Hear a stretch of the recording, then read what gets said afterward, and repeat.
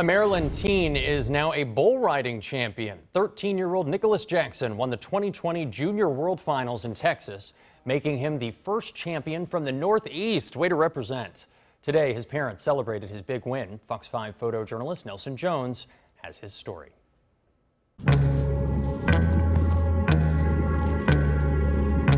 Hi, my name is Nick Jackson. I'm 12 years old and I love to ride bulls.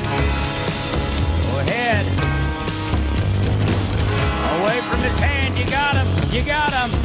First time I ever did it, it was a whole mix of different things. I was excited.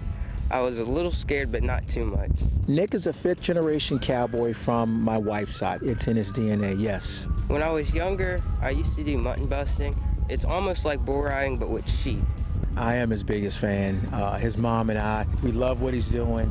We're super proud of him. 2020 Junior World Finals bull riding champion. It was a avalanche of emotion. There is, there's actually video of me on the back of the bucking chute cheering him on. In bull riding, you have to stay on for eight seconds, and within that eight seconds, you want to stay as controlled as possible without touching the bull with your free arm that's going to be in the air and you just want to stay centered on top of the bull's back without riding and falling or leaning to the side. When we travel, folks are uh, surprised to hear that we're from Maryland, and the first thing they say is, wow, we didn't know there were any cowboys in Maryland. It's the world champion buckle.